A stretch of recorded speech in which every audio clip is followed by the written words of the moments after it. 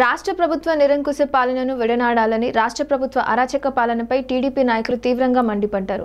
విశాఖ జిల్లా పాడేరులో ఐటీడీఐ కార్యాలయం వద్ద టీడీపీ నాయకులు ధర్నా నిర్వహించారు. మాజీ శాసనసభ్యురాలు గిడ్డి ఈశ్వరి ఆధ్వర్యంలో ఈ కార్యక్రమాన్ని నిర్వహించారు. దీనికి ముఖ్య అతిథులుగా రాష్ట్ర పోలిట్ బ్యూరో సభ్యురాలు అరకు పార్లమెంట్ నియోజకవర్గ టీడీపీ అధ్యక్షురాలు గుమ్మడి సంధ్యారాణి మాజీ మంత్రి కిడారి శ్రావణ్ కుమార్ పాల్గొని మాట్లాడారు. రాష్ట్ర ప్రభుత్వం ప్రజా వ్యతిరేక విధానాలను విడనాడాలని గిరిజనులకు మేలు చేకూరేలా ప్రవర్తించాలని హితవు పలికారు మోదకొండమ్మ వారి చిత్రపటాన్ని వారికి బహుకరిస్తున్నాం.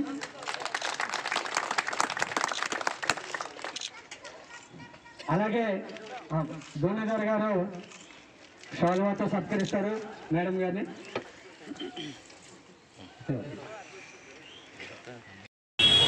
తెలుగుదేశం పార్టీ జాతీయ అధ్యక్షులు మాజీ ముఖ్యమంత్రి వారు నారా చంద్రబాబు నాయుడు గారు ఒక గొప్ప పథకాన్ని పెట్టారు. అదే బెస్ట్ అవైలబుల్ స్కూల్స్ అంటే ఈరోజు ప్రతి గిరిజన బిడ్డ కూడా మారుమూలు ఉన్నటువంటి గిరిజన బిడ్డ కూడా ఒక మంచి పాఠశాలలో ఉన్నతమైన పాఠశాలలో చదివి ఉన్నతమైన చదువులు చదవాలని చేపట్టినటువంటి బెస్ట్ అవైలబుల్ స్కూల్స్ నిజంగా ఎంతో మంది గిరిజన విద్యార్థులు అభివృద్ధి చెందారని అంటే చాలా గర్వంగా ఉండేది. కానీ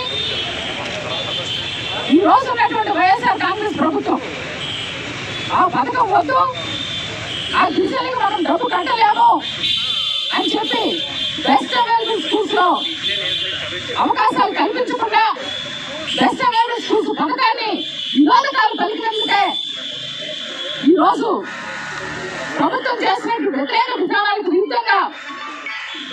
తెలుగుదేశం పార్టీ ఒక కార్యక్రమాన్ని చేపట్టి ఈరోజు ఐటీడీఏ ముందు ధర్నా కార్యక్రమాన్ని చేపట్టడం జరిగింది. ఏదైతే ఈ ధర్నా కార్యక్రమానికి మా గిరిజన బిడ్డ